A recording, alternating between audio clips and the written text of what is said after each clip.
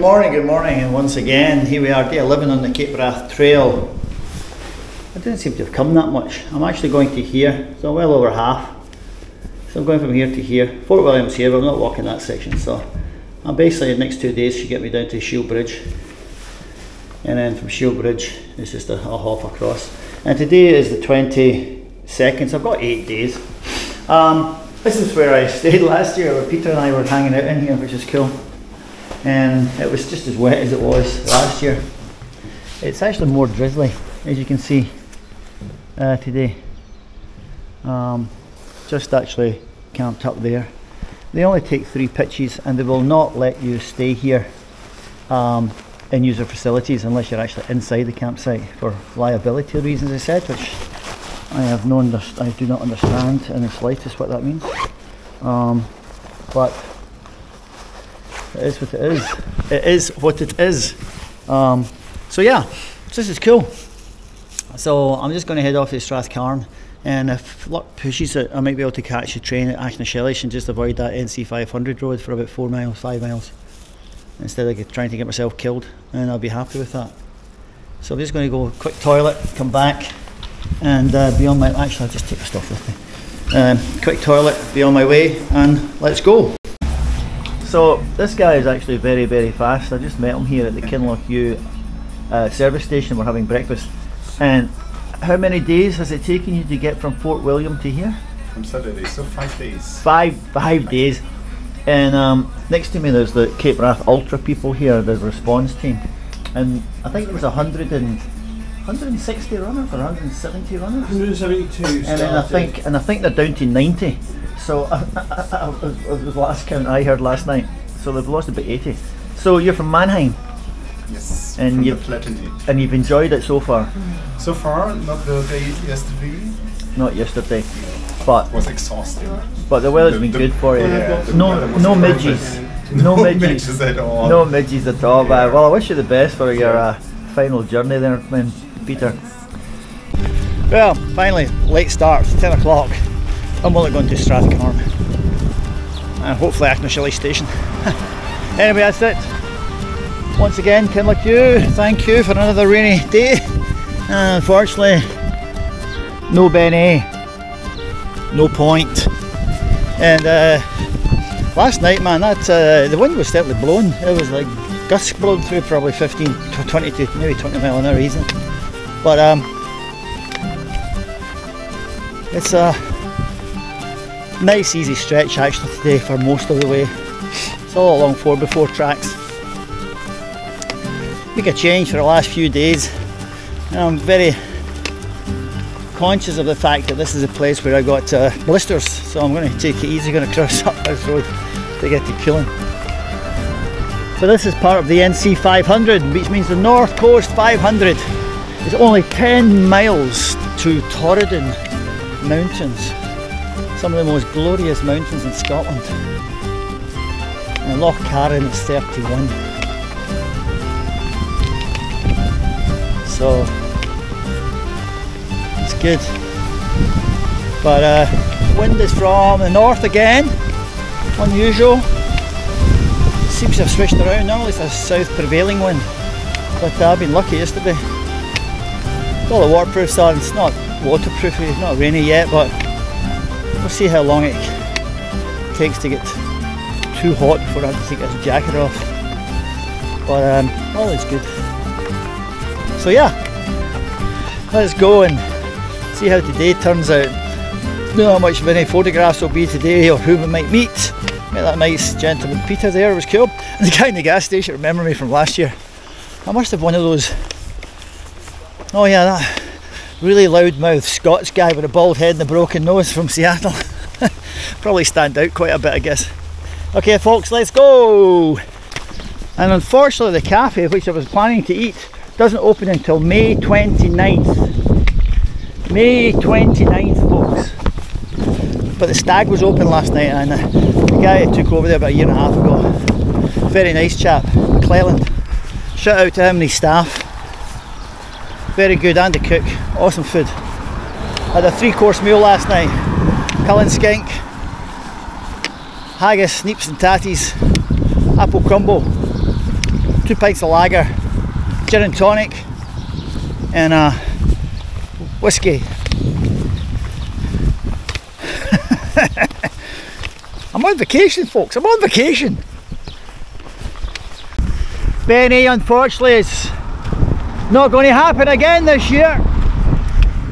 It is completely socked in. No point going up there when it's socked in and the weather was calling for high winds. Tonight gets a bit better tomorrow, so we'll see how it goes. So this is the NC 500 road. You get people come up here like nuts. So uh, just have to watch myself for um, not getting uh, run over. They might even turn the uh, volume down so I can hear traffic like that. Don't even slow down passing you. Anyway, let's go see if we can get the train at Achnashellach at 20 past 3 I believe the time is. Um, I left at 10, it's like it's five and a half hours and I don't think it's that far so we shall see.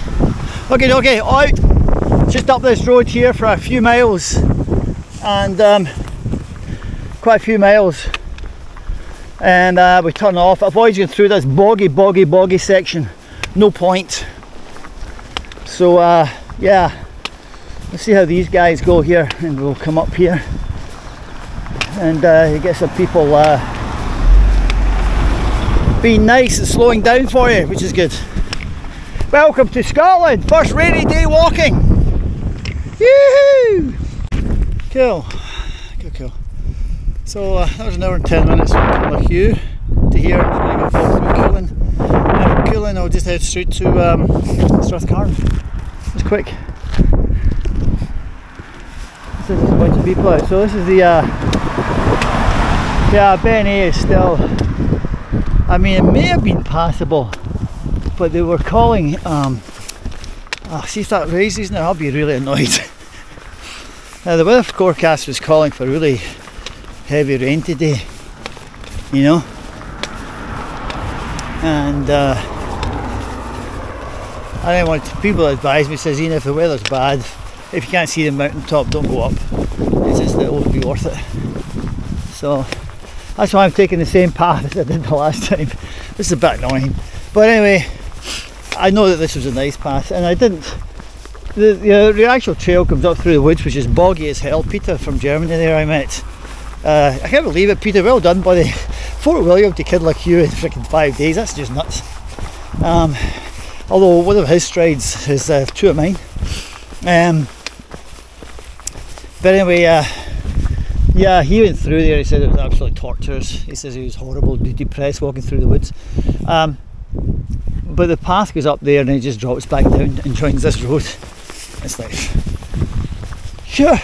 But I mean, honestly, I'm actually seeing if I could catch the train as I mentioned earlier. I think it's at 20 past three and I've got eight, just over eight miles. And I have, yeah, I've got four hours. So on average two mile per hour. And the track's basically like this. So I should be fine. And um, me with my big feet's fine walking through here. Mind if you do slip through one of those cattle grades, you're going to break your ankle. So yeah, so it's a tarmac road and then it's onto a forest road. And it goes through the Coulin Estate, which is super like the Cuillins, that's in Skye. I thought it was Cullen, but it's Cullen the guy told me last year. And actually, you know, now I look at these clouds here, this might have been okay, but you never know in Scotland. You know, one minute it could be like this, then the next minute it just sucks in and gets absolutely hammers down. Last thing you want to be down is caught up with bloody Beinn Eighe and it's hammering down. But this is a nice walk and I'm happy. And I'm happy. And look, here we go. What's that the signpost for folks? You get that in America. As a child, puberty, we always thought that was a female lying down and that was her breasts. It is a, a lovely estate we're about to walk through here. I was actually very impressed with this estate last year.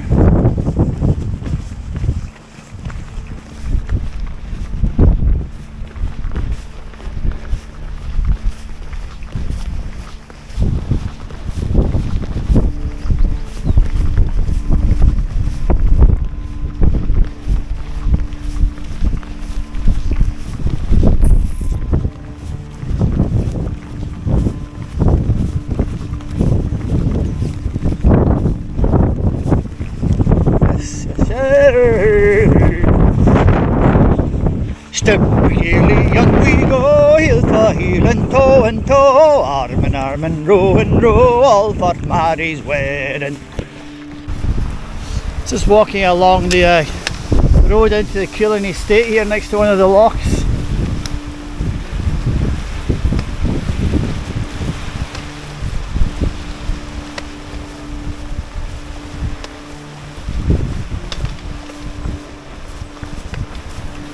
Pretty, huh? Just come up to a bridge up here. That'll take us in. These old Scots pines.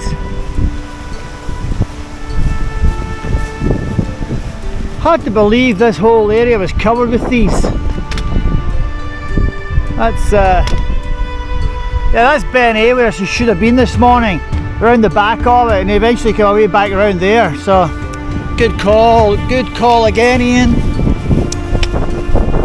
Pity though because the views up there are stunning. But right mum says I haven't been up there since the 80s. 70s, 80s, 70s? Maybe 70s actually when I think about it. Yeah, I've not been up there since the 70s. And here's the bridge I was telling you about. Should be a signpost up here on the left if memory serves me right. Uh-huh. One thing I do have is a good picture memory.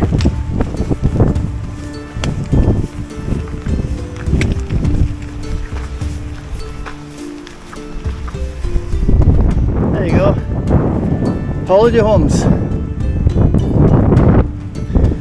It's a Cullens, spelled, spelled different. Skye, but pronounced the same. So it's a Cuillins, a C-U-I-L-L-I-N-S, Skye, and it's a C-O-U-L-I-N, Coulin. I thought it was Cullens, Cullen, Cullens, Cullen.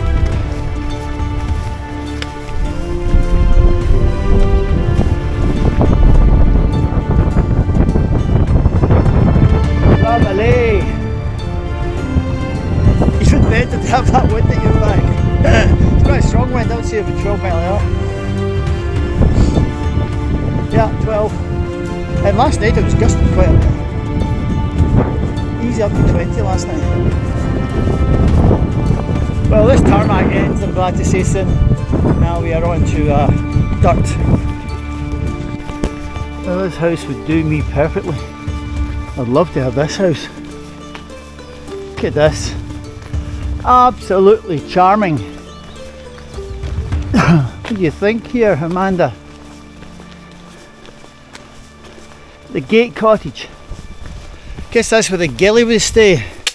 And then up here on the left is the actual Cullens Estate Lodge. And the rhododendrons are out.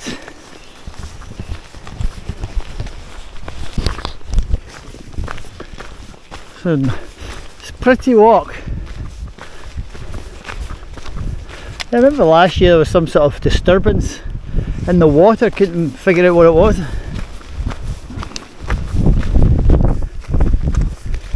Quite interesting coming in this time of the year. Things are just about to start blossoming.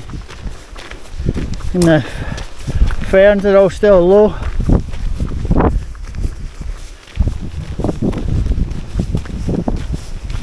Yeah. It's quite amazing. Got an amazing little picture of a robin this morning. Sitting on the seat right next to me having a bacon roll I was.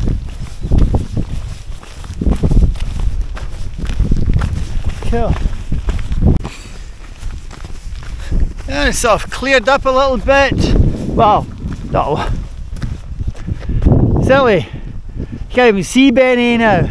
And the winds were quite howling there quite a bit, so yeah, they were calling for 20 30 mile an hour winds in the mountains. So, c'est vie. But uh, a nice easy, nice easy day today. I have to admit, it's nice. Last, uh, I think, almost every day, for as far as I can remember, it's been steep climbs and pathless, boggy. Uh, or maybe not boggy, rocky or whatever. But uh, this uh, hill I've got today is actually quite clear. You can see the pass up there. And it's just a gentle slope up to the top. It's called the Coulin Pass. Coulin's Pass. Actually, no donkey trail, I think. That's what they said if I remember on the other side. Um, but they're making good time. It's uh, it's 25 past 12. I think I'll get to the Achnashellach station around about 2.30. I think the train's at 3.15 so I can have a wee break there. Um, and uh, everybody who's came up, everybody who's came up the NC500 road from Strathcarron to the Killings Pass, if they came that way, has said, Jesus, that road is dangerous as hell, dangerous, dangerous. So, you know what I could have done actually, instead of spending the money for a hotel, I could have just actually walked up to the bloody bothy, just dawned on me. Oh, have just remember, I could have got off the train and just walked up the glen to the bothy, stayed there overnight and then came back. Save me some money. Well, at least I got a beer this way, I guess. Deserved. I'm on vacation, come on. Plus, I did some contracting work before I left, and uh, the USA, which is really interesting stuff. It was fun work actually. So I've got a, a paycheck coming in this month. a paycheck. That's pretty good. Anyways, good, good money. Paid for all this trip. So here we go. Killing Pass. Still amazing, you can't even see Beinn Eighe. Crazy, crazy. Okay, nothing much apart from the old Scots Pines. Okay. Wow, wild horses! Hello! Came galloping up to see me there. Hello! Oh, there's another one there. Hey, gorgeous! Wow, I never even saw that. I just heard her.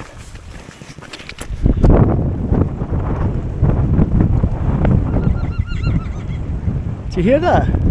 I never saw the other one back there. That's funny. It's another beautiful glade of old Scots pine. Crazy, beautiful. Beautiful trees. Absolutely gorgeous. Wow. so nice to see them all back again. Wow. I mean, when this had been covered in these trees, it would have looked like Fangorn Forest from Lord of the Rings. I could just imagine one of these looks like Treebeard, or actually do look like Ents. Super, super, super looking trees. Getting towards the uh, top of the Coulin Pass now. Probably a mile I think. Um, good track this. Came away from around there. Um, yeah, really good 4x4 track. Um, I think when you get to the top up here, uh, it uh, flattens out and you can pass a, a couple of lakes, little lochans, before it drops down. Um, this section very much reminds me of um, the General Wade Road from uh, Edinburgh Inverarnan that the uh, Drovers in up to the uh, sort of heights of Crianlarich there. It's very similar. Very similar.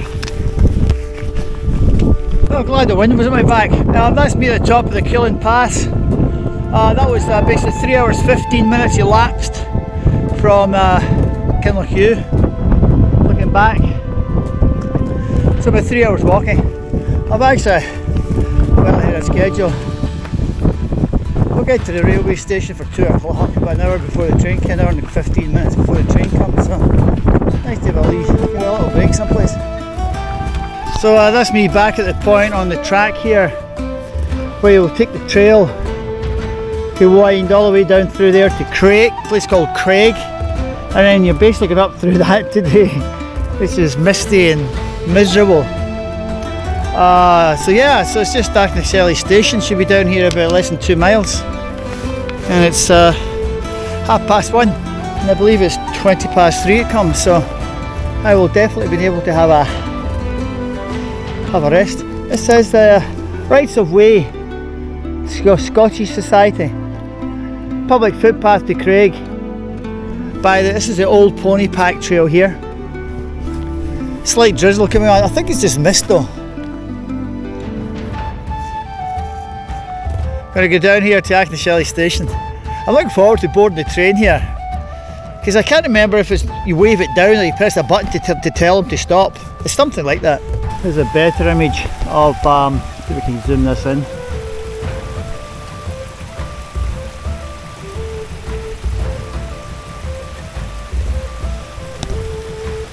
Better image of uh, the trail you would walk up the other side there. It's Looking down towards Loch Carron away the distance there. And Strathcarron is at the end of this lock here, just before actually the second lock down there is just the where we're going. It's about seven mile hike if you have to go on the road. But I just checked online since I had a signal and sure enough 1521 arrives platform one. There really is one platform which is quite a laugh. Um, at Shellish. So which is just down this hill. So I'll just be able to sit and have a, two sausage rolls I bought from the uh, the guy that runs the uh, gas station. I forgot to ask his name again. What an idiot. Um, so yeah, anyway, uh, it's all good. I just filled up with water and I got a wee midges. So the wee midges that are out, the wee annoying ones. No surprise, this is prime midgie weather by the way. So this could be bad news uh, for uh, for those for I mean yeah this could be bad news for uh, folk up at Maol Bhuidhe. That Maol Bhuidhe Bothy looks phenomenal by the way. Good job guys. Oh these mist coloured mountains. Gorgeous. Cool, I just came out the um, down off the, the path there. You can see the lovely rhododendrons here. And the uh, station is just down this little track here. And um, uh, currently the time is uh, it's quarter past two. So I've got an hour. I can actually do a little brew up, have a sausage roll, cup of coffee on the platform while I wait. And here, here ahead of me is the gates for the railway station. And you might find this quite quaint. I thought it was quaint last year. And uh, I'm glad actually this is going to work out just timing. Serendipity as I say a lucky accident. No planning for this ahead of time really. Thought there might be a train around a bit now but it turned out there is a private level crossing stop Always telephone before crossing with vehicles or animals. Wow. Well, I know this time to cross.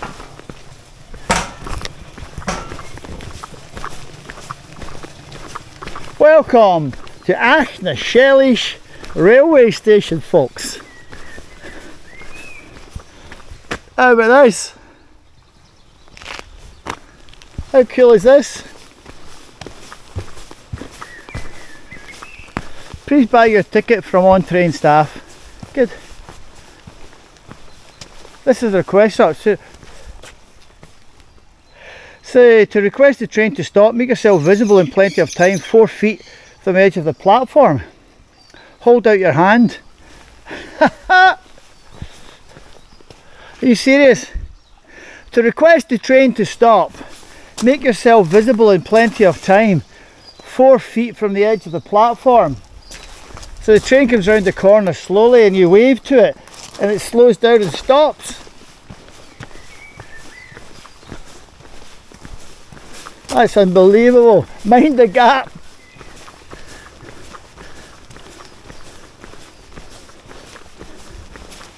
I guess that's where I go in here.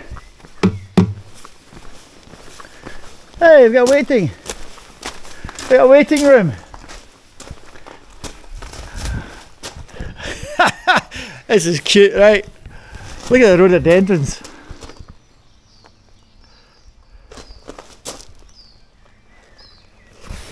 Superb. Brew time! I can hear it coming. Here it comes.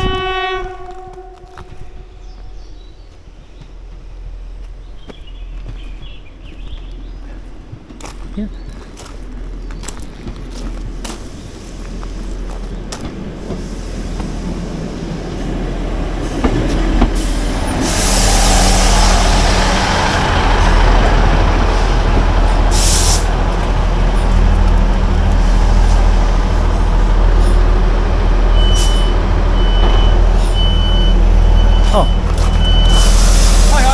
I wonder what it was there, man. Aye. What's a big stick? eh? Yeah. I'd probably. Thanks, mate. Oh, that's better. Thanks a lot, man. Oh! Jesus. I'm just going down to Strathcarron. Calling the boy.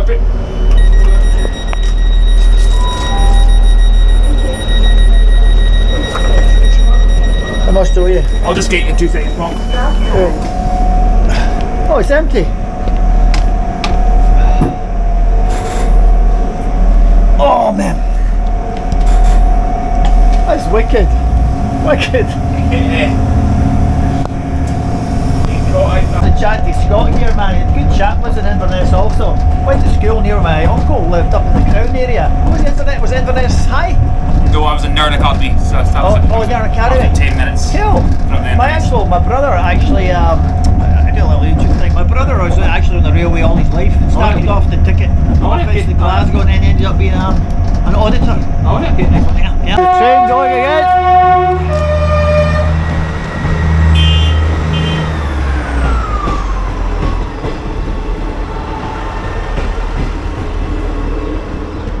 How cool is that? Perfect.